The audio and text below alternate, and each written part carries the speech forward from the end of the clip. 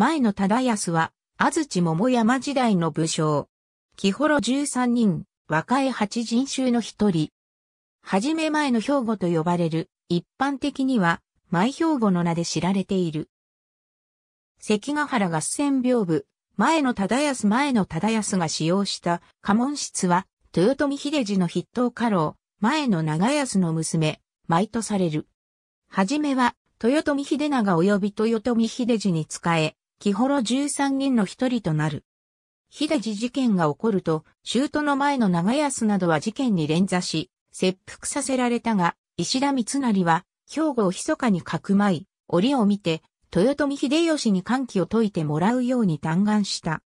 その結果、許されて、大場土佐と共に五戦国で招きし抱えられ、島左近政教に次ぐ二番家老となった。三成挙兵の際に忠康は、三成の命を受け、羽黒山武士姿の死者を越後に送り、斎藤利美や長尾慶、野寺越後国の土豪たちを放棄させた。また、家康との合戦に向けた武芸の稽古の際も、家臣らの指導を担当した。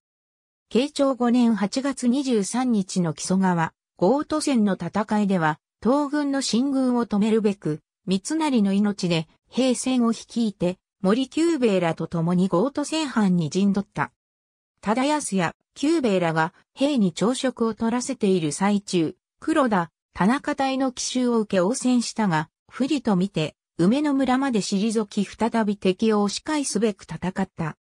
だがこの時点で戦える状態にある兵士は600人余りにまで減っており、敗れて杉江官兵衛を伝軍として大垣城まで退却した。この際官兵衛は討ち死にしてしまう。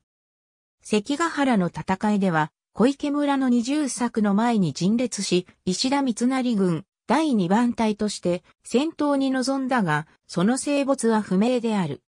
芝良太郎の歴史小説、関ヶ原にも、舞兵庫として登場する。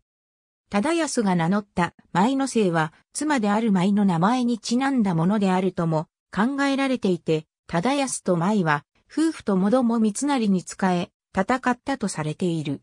関ヶ原芝良太郎、関ヶ原。ありがとうございます。